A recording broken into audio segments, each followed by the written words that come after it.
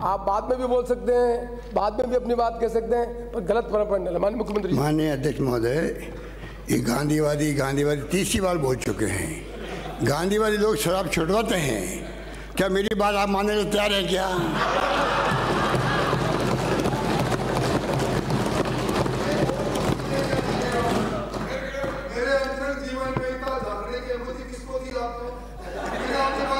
भैया कभी कभी मित्रों के लिए झांकना पड़ता है उनके इंटरेस्ट के अंदर।